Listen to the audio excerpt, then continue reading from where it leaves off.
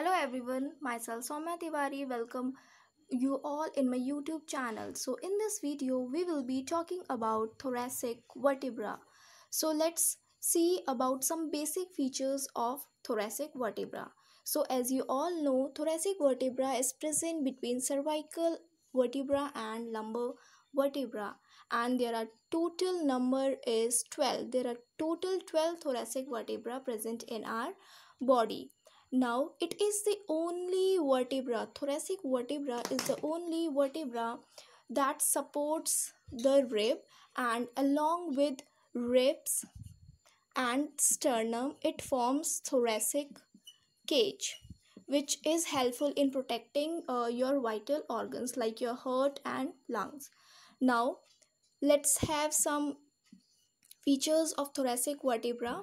So it is heart shaped body. It has heart shaped body and it has presence of demifacet and costal facet. It has spinous process which is long and slant inferiorly. So thoracic vertebra is divided into two typical and atypical vertebra. So the vertebra ranging from T2 to T9 is typical vertebra and uh, T1, uh, T10, T11 and T12 are atypical vertebra. So let's talk about demifacet and costal facet. So here in this diagram of thoracic vertebra you can see that demifacet is present on the body of thoracic vertebra. So this is the demifacet which is present on vertebral body and it articulate with the head of ribs now costal facet. So this is a costal facet which is present on the transverse process. This is the transverse process and this is the spinous process. You can see clearly. So costal facet is present on transverse process which articulate with the tubercle of ribs. So let's see the superior view and the lateral view of thoracic vertebra so here is the superior view as you can see. This is the body of thoracic vertebra. Here is the spinous process. Here is the transverse process the pedicle and the lamina and there are two types of costal facet present on the thoracic vertebra. So transverse costal facet which is present on transverse process and superior costal facet. So let's see lateral view of thoracic vertebra. So here is a lateral view.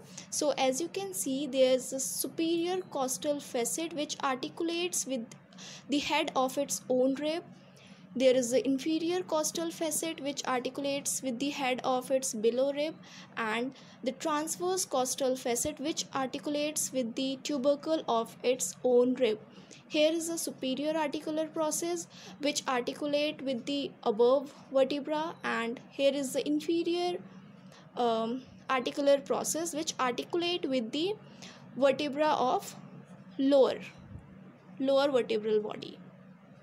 Now let's discuss about atypical thoracic vertebra. So T1 has superior costal facet which articulate with first rib inferior costal facet is incomplete in T1 vertebra and basically it is demi-facet for second rib. Now the spinous process of T1 vertebra is long and horizontal and the resemblance of T1 vertebra is like cervical vertebra.